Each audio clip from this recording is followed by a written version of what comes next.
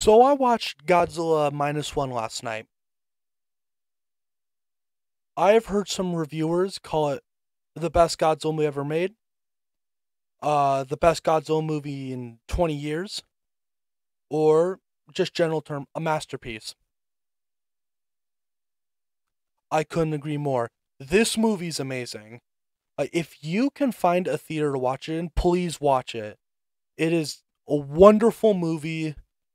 Like, it goes so well.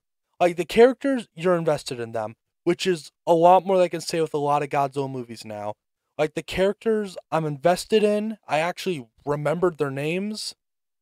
Um, so that's good that I can remember them because I was invested enough. Uh, uh, the overall effects of the movie, they look wonderful. Godzilla looks beautiful. Uh, the building, uh, the destruction looks amazing. And uh, in the movie, Godzilla's been sh- scaled down. He's more, more shrunken to be more like down to earth with us. And that was a beautiful idea. The destruction felt a lot more personal. And a lot of the themes in the movie really felt personal. So it's set right after World War II, uh, not in the 1950s. So that was pretty interesting. It was before 1954, but it was set in the 1940s, which, hey, that's pretty interesting. But I'm not going to spoil the movie for you, so I'm not going to like, review it. I'm just going to tell you some of my uh, thoughts on it and uh, see what comes from there. So, Godzilla looks amazing. The destruction is beautiful. The characters are so well written. And it's weird to say it because we haven't been seeing this a lot in Godzilla movies. Godzilla is terrifying.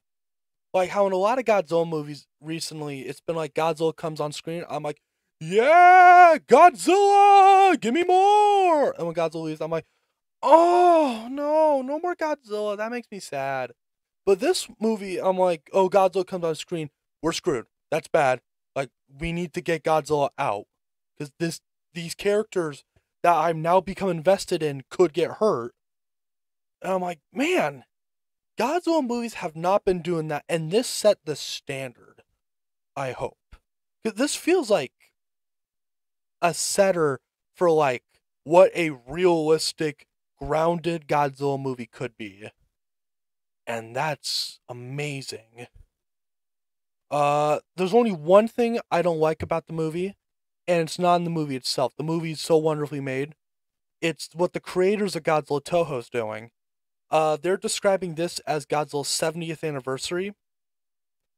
It's not. This year, 2023, is his 69th. But I also don't blame him calling it the 70th anniversary, because next year, on his 70th anniversary, 2024, uh, if Godzilla X Kong doesn't get uh, delayed anymore in April. So in April, it's going to be Godzilla and Kong team up, I believe. Like, I'm just talking out. I'm just talking out of my mind right now. So it can usually not be the case. Uh, trailer expect to come out like two days from now, which I will talk about when it comes out, hopefully. Uh, but is that uh Godzilla and Kong are fighting a giant orangutan.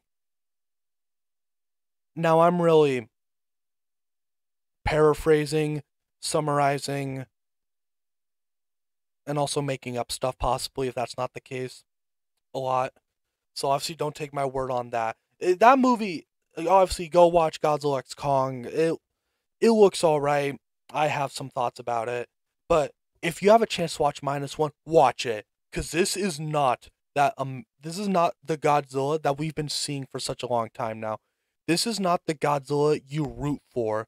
This is the Godzilla you hate, which is good. I do not like I should not like Godzilla most of the time. I know some Godzilla movies where I'm supposed to like Godzilla. I'm like, yeah, it works. But this one is uh like I felt in the theater Godzilla is not a good thing.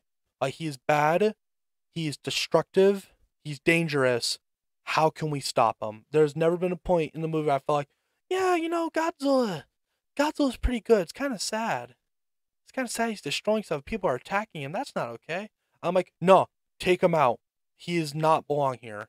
Like he is endangering everyone and the characters that we are loving so far. And so all I can say is if you can watch it, please.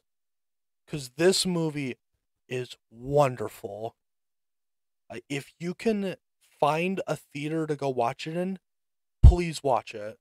Cuz this is not just a monster movie. It it feels bad calling it a monster movie.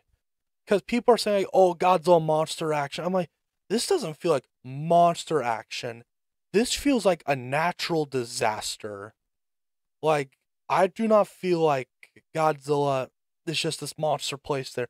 It feels natural. Like everything in the movie feels realistic.